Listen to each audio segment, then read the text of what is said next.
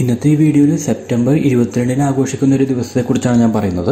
September ഇരുപത്തിരണ്ട് world rhino day ആണ്. അതായത് ലോക കാണ്ടാമൃഗ ദിനം. നമുക്കിനി കാണ്ടാമൃഗത്തെക്കുറിച്ചുള്ള കുറച്ച് വിവരങ്ങൾ നോക്കാം. ഓരോ കാലിലും വിരലുകൾ പോലെ തോന്നുന്ന മൂന്ന് കുളമ്പുകളുള്ള ഒരു സസ്തനിയാണ് കാണ്ടാമൃഗം. കാണ്ടാമൃഗങ്ങളെ എല്ലാം തന്നെ റൈനോസൊറാറിറ്റി എന്ന കുടുംബഗണത്തിൽ ഉൾപ്പെടുത്തിയിട്ടുണ്ട്. ഈ കുടുംബഗണത്തിൽ അഞ്ച് ഉപജാതികളാണ് ഉള്ളത് അതിൽ തന്നെ രണ്ടെണ്ണം ആഫ്രിക്കയിലും ബാക്കിയുള്ളവ ഏഷ്യയിലുമാണ് കാണപ്പെടുന്നത്. വളരെ വലിപ്പമുള്ള ശരീരമാണ് ഈ ജീവികളുടെ സവിശേഷത. സാധാരണയായി കാണ്ടാമൃഗങ്ങളുടെ ശരീരഭാരം ഒരു ടണ്ണിലും കൂടുതലാണ്. സുരക്ഷിതമായ കവചം പോലെ പ്രവർത്തിക്കുന്ന കട്ടിയുള്ള തൊക്കുകളാണ് ഇവയുടെ ശരീരത്തെ ആവരണം ചെയ്തിരിക്കുന്നത്. കാണ്ടാമൃഗങ്ങൾ സസ്യഭോജികളാണ്. ഇവയുടെ ശരീരവുമായി താരതമ്യം ചെയ്യുമ്പോൾ തലച്ചോറിന് വലിപ്പം കുറവാണ്. എന്നാൽ കൊമ്പ് താരതമ്യേന വലിപ്പമുള്ളതാണ്. സസ്യാഹാരികളായ ഇവ ഇലകളാണ് കൂടുതലായിട്ടും ആഹാരമാക്കുന്നത്. നാരുകളടങ്ങിയ ആഹാരം നല്ല രീതിയിൽ ദഹിക്കാൻ പര്യാപ്തമാണ് ഇവയുടെ ദഹനേന്ദ്രിയ വ്യൂഹം. ആഫ്രിക്കയിൽ കാണപ്പെടുന്ന കാണ്ടാമൃഗങ്ങൾക്ക് മുൻനിര പല്ലുകൾ കാണാറില്ല. ഇവയുടെ വായിലെ പിൻഭാഗത്തെ ബലമുള്ള പല്ലുകളുടെ സഹായത്തോടെയാണ് ഇവ ആഹാരങ്ങൾ ചവച്ചരയ്ക്കുന്നത്. ആന കഴിഞ്ഞാൽ കരയിലെ ഏറ്റവും വലിയ സസ്തനിയാണ് കാണ്ടാമൃഗം.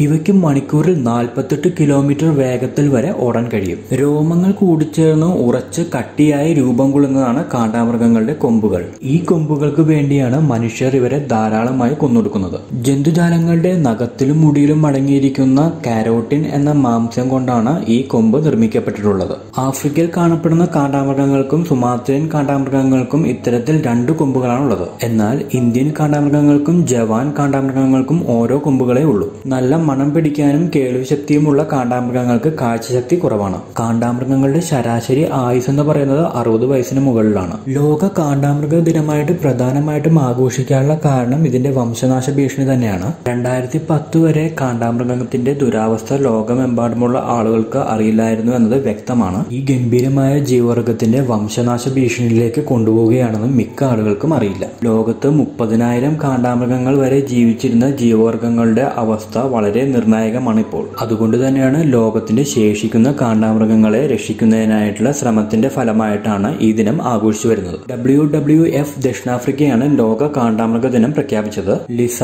ജെയിൻ ക്യാമ്പലും റിഷ് ജെയുമാണ് കാണ്ടാമൃഗ ദിനത്തിന് ഇത്രയും പ്രോത്സാഹനം നൽകിയത്. അവിശ്വസനീയമായ ഈ രണ്ട് സ്ത്രീകളുടെ കയ്യിലും ലോകമെമ്പാടും വ്യാപിക്കുന്ന ഒരു പ്രതിഭാസമായി ഇതിനെ മാറി. ലോകത്തിപ്പോൾ അവശേഷിക്കുന്നത് നൂറ് സുമാത്രയൻ കാണ്ടാമൃഗങ്ങളും അറുപത് അറുപത്തഞ്ച് ജവാൻ കാണ്ടാമൃഗങ്ങളും മാത്രമാണ്. അതുകൊണ്ട് തന്നെ ഈ കാണ്ടാമൃഗങ്ങളെ സംരക്ഷിക്കുന്നതിന് വേണ്ടിയിട്ട് തന്നെയാണ് ഈ ദിനം എല്ലാ വർഷവും സെപ്റ്റംബർ ഇരുപത്തിരണ്ടിന് ആഘോഷിക്കുന്നത്. ഇതുപോലെ തന്നെ ഓരോ ജീവജാലങ്ങൾക്കും ഈ ഭൂമിയിൽ ജീവിക്കാനുള്ള അവകാശങ്ങളുണ്ട്. അതുകൊണ്ട് തന്നെ വംശനാശ ഭീഷണി നേടുന്ന ഈ ജീവവർഗങ്ങളെ സംരക്ഷിക്കേണ്ടത് മനുഷ്യരുടെ കടമ തന്നെയാണ്. അപ്പോൾ ഇന്നത്തെ ലോക കാണ്ടാമൃഗ ദിനത്തെക്കുറിച്ചുള്ള വീഡിയോ എല്ലാവർക്കും ഇഷ്ടപ്പെട്ടെന്ന് വിചാരിക്കുന്നു. വീഡിയോ ഇഷ്ടപ്പെട്ടു കഴിഞ്ഞാൽ ലൈക്ക് ചെയ്യുക ഷെയർ ചെയ്യുക.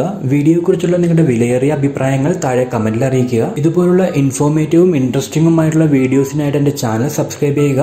സബ്സ്ക്രൈബ് ബട്ടന്റെ തൊട്ടടുത്ത് കാണുന്ന ബെൽ ബട്ടൺ അമർത്തി ഓൾ കൊടുത്താൽ ഞാൻ തുടർന്നും ഇടുന്ന വീഡിയോകൾ നിങ്ങൾക്ക് നോട്ടിഫിക്കേഷൻ ആയിട്ട് വരുന്നതാണ്. വീഡിയോ കണ്ട എല്ലാ പ്രേക്ഷകർക്കും നന്ദി അറിയിക്കുന്നു. മറ്റൊരു ഇൻട്രസ്റ്റിംഗ് വീഡിയോ ആയിട്ട് കാണുമെന്ന പ്രതീക്ഷയോടെ this is signing off by Vipin.